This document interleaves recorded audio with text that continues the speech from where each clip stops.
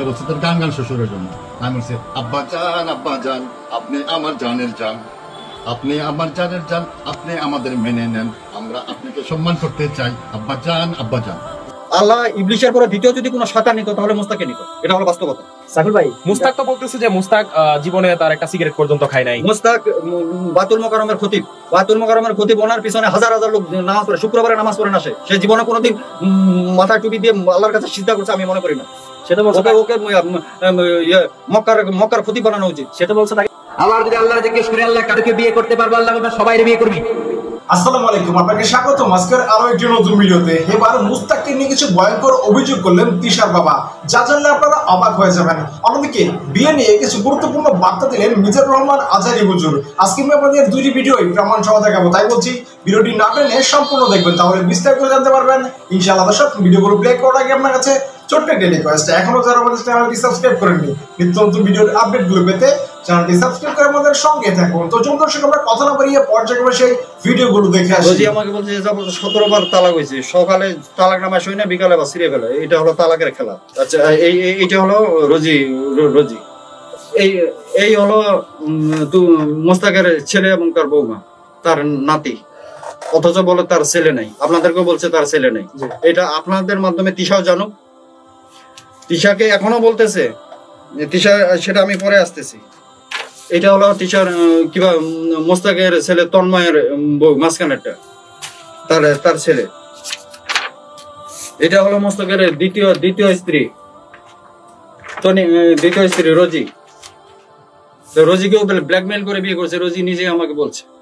আমাকেও একইভাবে ব্ল্যাকমেল করে বিয়ে করছে। তারপরে এক এক ছেলে হয় রাজমিক।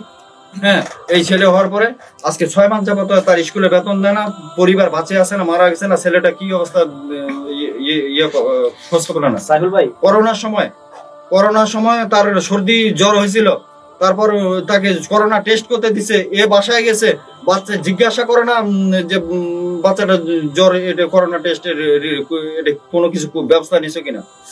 ও বলতেছে রোজির সাথে ঝগড়া করতেছে রোজি রোজি বলতেছে তুমি এত কয়েকদিন পরে আসছো আসে বাচ্চাটা এরকম অবস্থা আছে বাচ্চাটার কথা জিজ্ঞাসা না করে তুমি আমার সাথে ঝগড়া করতেছে। বলছে আরে বাচ্চা তো হটাও।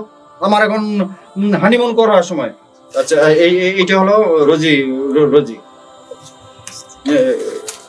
এটা হলো। কি কি মামলা করেছে? তাকে? তাকে তালাক দিয়েছে। রোজি ইয়ে রোজিকে রোজি এটা নিয়েও তালাক তালাকের খেলা চলতেছে। কারণ একটা বিয়ে করতে হলে দিতে আরেকটা তালাক দিতে হয় না ওর পারমিশন লাগে। একে হে হে হে বলতেছে ওকে তালাক দিছে। রোজি আমাকে বলছে যে যাব সতেরো বার তালাক হয়েছে। সকালে তালাক নামা শুই না বিকালে বা সিরিয়ে ফেলে। এটা হলো তালাকের খেলা। এটা হলো রোজি রোজি এবং মোস্তাকের ছেলে ইয়ে, রাজমিক। সে বলে তার ছেলে নাই। কাজে দুইটা ছেলে প্রমাণ দেখাইলাম। এইটা হলো তনিমার তনিমার পাঁচটা বিয়ে। তনিমার পাঁচটা বিয়ে পাঁচ জনে তাকে ডিভোর্স দিচ্ছে এটা হলো আর একটা এটা হলো একটা দেখেন। সাইফুল ভাই এগুলো যে সত্য আসলে কি প্রমাণ? আপনি কীভাবে যুক্ত জোগাড় করলেন এই তথ্য প্রমাণগুলো? এটা হলো একটা দিশাকে যাতে সান্ত্বনা দেওয়া যায় যে বুড়া বসে যে তোমাকে বলতেছে বুড়া বসে বিয়ে করছে দেখো সেটারও সেটারও সান্ত্বনার বাণী হিসাবে আরেক বৃদ্ধ আরেক মেয়েকে বিয়ে করছে ওইটা ওইটার সাথে মিট করছে। মানে কুলাঙ্গারে কুলাঙ্গারে এক হয়েছে। বিয়ের বিয়ের আগে থেকেই তো ভিডিওগুলো তো তনিমা করছে। এটা তো এই এইটা হলো মেডিকেলের স্টেটমেন্ট এটা হলো মেডিকেলের স্টেটমেন্ট তাকে ব্ল্যাকমেল করা হয়েছে। ব্ল্যাকমেলের এক পর্যায়ে তার কাছে কাবিনামা সই যায় তিশা সই দিতে দিবে না। তখন বলতেছে না হলে সব ফেসবুকে ভাইরাল করে দিব। কয়টা মামলা করেছেন এখন পর্যন্ত? আমি একটা অপহরণ করছি একটা করছি। এটি হলো কোর্টের কোর্টের অর্ডার কোর্ট কোর্ট বলছে মোস্তাক আইডিয়ালে ত্রিশ সীমানার মধ্যে প্রবেশ করতে পারবে না। এটি হলো কাবিননামা। কাবিননামার কাবিননামার উম, সাক্ষী হলো মোস্তাকের দুইজন চাকর যারা বাসায় তার বাসায় এখনও কাজ করতেছে। মেয়ের স্টেটমেন্টে তো আমার যথেষ্ট। মেয়ে মেয়ে জিম্মি হয়ে আছে বিদায় তো সে ইয়ে এবং তাকে আইনের আওতায় যদি আনে তার কাছ থেকে অস্ত্র সব উদ্ধার করে তার কাছ থেকেই সব ইয়ে তার সকল কুকর্ম যখন আমার মেয়ে শুনবে। এখন তো সে এমন ভাবে তিশার কাছে ফেরেস্তা হয়ে আছে। তিশা মনে করতেছে যে আমাদের শেষ নবী হজরত মোহাম্মদ মোস্তফা সাল্লাহ আলাইসাল্লামের পরে যদি আল্লাহ দ্বিতীয় আর কোনো নবী নিত তাহলে মোস্তাকে নিত। মোস্তাক তো বলতেছে তাকে। কিন্তু কিন্তু আল্লাহ ইবলিশের পরে দ্বিতীয় যদি কোনো শয়তান নিত তাহলে মোস্তাকে নিত। এটা হলো বাস্তবতা। সাইফুল ভাই মুস্তাক তো বলতেছে যে মুস্তাক জীবনে তার একটা সিগারেট পর্যন্ত খায় নাই। মোস্তাক বাতুল মোকারমের খতিব। বাতুল মোকারমের খতিব ওনার পিছনে হাজার হাজার লোক নামাজ পড়ে শুক্রবারে নামাজ পড়েন আসে সে। জীবনে কোনোদিন মাথায় টুপি দিয়ে আল্লাহর কাছে সিদ্ধা করছে আমি মনে করি না। সে তো বলছে ওকে ইয়ে, মক্কার মক্কার খতিব বানানো উচিত। সে তো বলছে তাকে হজরত বলা যাবে। কিং কিং উপাধি লাগাইছে তাহলে হজরত লাগাইতে সমস্যাটা কি? আরেকটা আরেকটা বিষয় আপনাদের সামনে একটু ছোট আমি শুনতেছি। আরেকটা বিষয় আপনার বয়স বেশি নাকি মোস্তাকের বয়স বেশি? এই বিষয় নিয়ে আলোচনা হচ্ছে সামাজিক যোগাযোগ আচ্ছা আমি মোস্তাকে মোস্তাকের পা থেকে মাথা পর্যন্ত যে তুমি মিথ্যা সুতরাং তার যে তেষট্টি লিখছে জন্ম তারিখ এটা যে সঠিক এটা মনে করার কোনো কারণ নাই। চোর তো সব জায়গায় চোর। ও মসজিদে গিয়ে জুতা চুরি করবে। এখন আমি একটি প্রসঙ্গে আসি। বুড়া বেড়ায় বাচ্চা একটা মেরে বিয়ে করে ফেলছে। নাতির বয়সী মেয়েকে বিয়ে করছে, এটা কি সম্ভব? টাকার কাছে সব ভালোবাসা বিক্রি হয়ে যাচ্ছে, ঠিক আছে? একটা ষাট বছরের লোক কীভাবে আঠারো বছর একটা মেয়েকে বিয়ে করে? আমাদের মতন সিঙ্গেল মানুষরা তাহলে কি করবে? এরকম যদি টাকার কাছে ভালোবাসা বিক্রি হয়ে যায়, তাহলে তো আর আমাদের বেঁচে থাকার কোনো মানেই হয় না। টাকা দিয়ে সব কিনে ফেলতেছে। বুড়া বেটায় বাচ্চা একটা মেরে বিয়ে করে ফেলছে। নাতির বয়সী মেয়েকে বিয়ে করছে এটা কি সম্ভব? আর বাচ্চা মেয়ে সুগার ডেডি বিয়ে করেছে। সুগার ডেডি হ্যাঁ সুগার ডেডি বিয়ে করছে। আমাদের আজকে টাকা নাই বলে আমাদের গার্লফ্রেন্ড হয় না। আর টাকা আছে দেখে সে বিয়েই করে ফেলছে ও। ভালোবাসা নাই। সে বিয়ে করছে কিন্তু এই জিনিসটা নিয়ে তারা যা শুরু করছে সোশ্যাল মিডিয়া আইসা তারা নিজেরাই তো ছোট হইতেছে আমাদের কাছে। বিয়ে করছে তারা তাদের মতন থাক না এটা করে ওইটা করে ভিডিও বানায় এগুলা কি? এগুলা তো তারা নিজেরাই ছোট হইতেছে।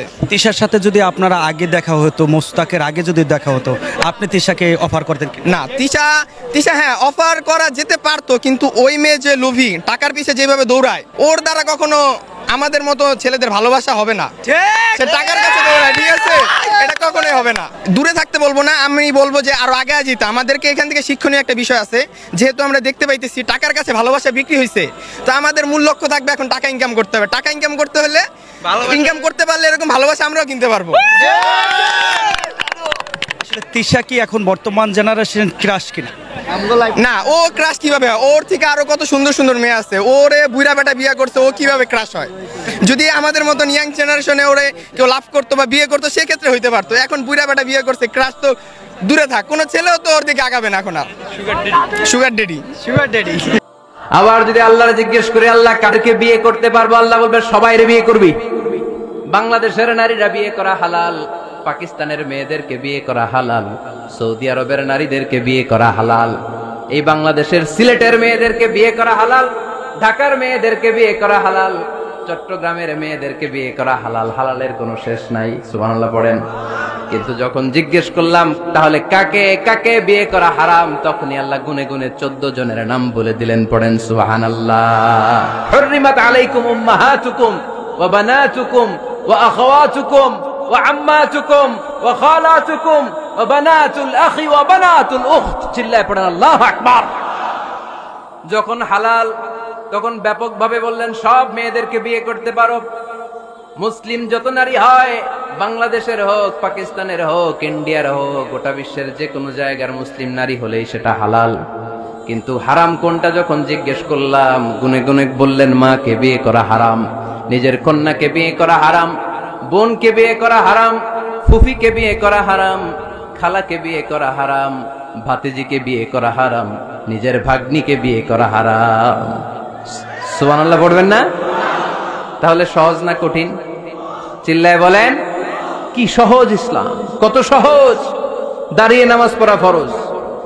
দাঁড়াতে পারতেছেন না, বসে পড়লেও কবুল করবে কে? অজু করে নামাজ পড়া কি? পানি নাই। তায়াম্মুম করে নামাজ পড়লে কবুল করবে কে? বিয়েতে মহরানা দেওয়া কি? মহরানা নাই। এক সাহাবি বললেন, ইয়া রাসূলুল্লাহ, বিয়ে করব। মহরানা আছে? না। কি আছে? এটা কিচ্ছু নাই তো কিচ্ছু না থাকলে বিয়ে করব কেমন? মহরানা দেওয়া লাগবে না? কোরআন পারো? পারি। কয়টা সুরা? এতটা সুরা। এক নারীকে জিজ্ঞেস করলেন, কোরআন পারো? বলে, না, পারি না। আল্লাহর হাবিব সাল্লাল্লাহু দুইজনকে বিয়ে পড়াই দিলেন। আর নারীকে বললেন, মা, তুমি কোরআন পারো না, কিন্তু তোমার স্বামী কোরআন পারে। তোমার স্বামী টাকা দিয়ে, পয়সা দিয়ে তোমাকে মহরণা দিবে। সামর্থ্য তার নাই। সে প্রতিদিন তোমার একটু একটু করে কোরআন শিখায় দিবে, এটাই মা তোর বিয়ের মোহর দর্শক, আশা করি সম্পূর্ণ ভিডিওটি দেখেছেন। দর্শক, এই ভিডিও সম্বন্ধে যদি আপনার কোনো মতামত থাকে, তাহলে অবশ্যই কমেন্ট করে জানাবেন। ভিডিওটি ভালো লাগলে অবশ্যই লাইক করবেন। দেখা হচ্ছে পরবর্তী কোনো ভিডিওতে। এসে পর্যন্ত সবাই ভালো থাকবেন, সুস্থ থাকবেন। আল্লাহ হাফেজ।